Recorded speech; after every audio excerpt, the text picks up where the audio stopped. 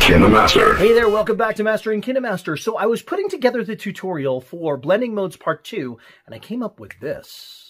And I was like, wow, that's pretty cool. I'm going to do something that I don't normally do. I'm going to do just a tutorial on how to recreate this exact effect. And what this exact effect is, is having green screen content with something overlaid over it like a flag or like clouds or maybe you use the ocean. That's your choice. But if you like the idea of learning how to do this step by step, I'm not going to go in depth about the whys or too much of that, but just you'll be able to recreate this technique. Remember, if you like my content, like and subscribe. And if you want to how to learn how to turn yourself into a flag, come on and join me on the other side. In order to achieve this effect, we are going to start with one project where we're going to make the headshot and then we're going to export that and bring it to another project. We need to do this because we need to be able to key out the background entirely of the headshot project. So I'm going to show you how we do that first. So I've got this project and this is what the final will look like. Starting with a fresh project, we put a black background clip because everything we're going to be doing is layers.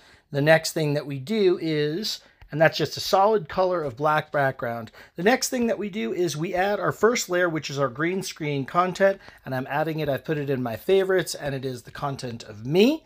I go ahead and I'm gonna chroma key my green screen made content, and I have videos about all of these stuff, layers, chroma keying, and you can look them up. Again, I'm moving quickly in this to just show you how the project works. So we get a decent chroma key. I'm not going to do it perfectly because I'm moving quickly. And then I'm going to go ahead and scale it up. And so what's important now, this step is something new and different. So I'll explain it to you, is we want to get rid of all of the color of me because we want to pick up the color from the flag or from the ocean or whatever it is that we're going to use. So we go into the adjustment of any layer has this possibility, and this is a color uh, and brightness adjustment, what we're going to do is we're going to take all of the saturation out of it. So this, when we apply the blending mode of the content over it, then it'll pick up all the colors. Another important thing to do here is what this trick is, is using black as the chroma key color. And so that means that we want all of the areas of darkness of me not to actually be black, but be some level of gray because then they will not get picked up by the chroma key when we chroma key out the black. Now there's a little bit of a shadow that I would work on here, but I'm not going to do it. So I increased the brightness and what that does is everything that you're seeing in my definition is no longer pure black. It is some form of gray. In this area, you might want to also adjust, you can increase the level of the shadows slightly, and this adds more brightness levels to shadows as well. So basically, you want your green screen content that you want to show through not to have any pure blacks in it. Okay, so then we go ahead and we go back out. we select we are good with that. And then we're going to add our flag layer or whatever that we want to add. I took a look on some stock footage places, and there's all kinds of uh, content of flags from whatever country you want. Also, I thought about doing an ocean of clouds. There's lots of different things. Just go with your imagination on this. I'm going to add this layer on top, and the flag shows up. And here is the part that's really cool, is that in blending modes, I'm going to go ahead and go down to blending. Now, I'm having tutorials about blending modes, but when you hit overlay, if there's black, then it doesn't show the content. So the flag just shows up over me, you can see. And so now I'm going to go ahead and say, yes, that's what I want. And then I'm going to resize this and I can reposition. And specifically here, because I didn't do that good of a job, this area by my neck is appearing. Um, but uh, in my green screen tutorial, I explain how to help get rid of that. So then you can reposition your flag or whatever your content is so you get the look and feel that you want. And then in addition, you can go into the properties of that flag or whatever it is, go into the adjustment and make some color changes in here. You can increase the saturation, you can increase uh, the vibrance of it. And I found that if I wanted to make myself look more blue, I could change the color temperature. So my overall look, my the grays in me and the whites in me start to pick up blue. So this was a really rough job of it, uh, but this is basically the technique. Use overlay, uh, make your content that you're trying to lay over entirely grayscale by desaturating it, and then adjust the colors in the overlaid image. And there you have the product.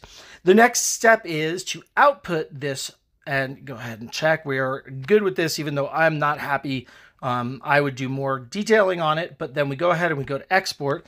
And You'll notice I have my export for this set to high. If you watch my export video, when I'm uploading stuff to the web, I do not export it this high. However, to reuse this in the other video, I put it on high because I wanted its best quality to be reused because I'm going to use the color key. So we're going to stop the export process and we're going to move on to the next part where we import it into the other video. Now we're ready to move our headshot into our main composition, which I have stored the headshot in my favorites folder, and you can see it. I'm going to add it there. My background that I'm using is my intro background image, and shows up. And then what we're going to do, as noted before, is we're going to chroma key out black. I have a good tutorial on chroma key about all of these settings, and to make it really good, you're probably going to watch that. But I'm going to go ahead and enable this, and then show mask, and then the key color, you'll see that it will pick some color from your composition. It picked red for me. I need to change that to black. I go ahead and go in here, and there's a couple of ways you can do this, but if you use the color wheel, you slide it all the way to black. All that matters is that that is 00000. Also, this version will be all black. This is another KineMaster version to do that. Check the box there. Then you move these sliders, and I've already learned by practice where this slider is for this composition, but you'll want to adjust those and you want to get a good knockout. As long as you made your composition well and increased the grays in the, what you want to show to be all gray and no blacks, then you should have a good cutout like this. I'm going to go ahead and I am going to unshow the mask and yeah, it looks good. Go out of that. We can scale this up here and boom, we have a great uh, composited me as an American flag. And I did I put it up against a couple of other backgrounds so that you can see you can use whatever background that you choose to do it, something that matches well for you, for your content and what you want. This is where I am using it right now. And that's all that you really need to get this fun and interesting effect for your green screen content in your own projects. I hope that you enjoyed that.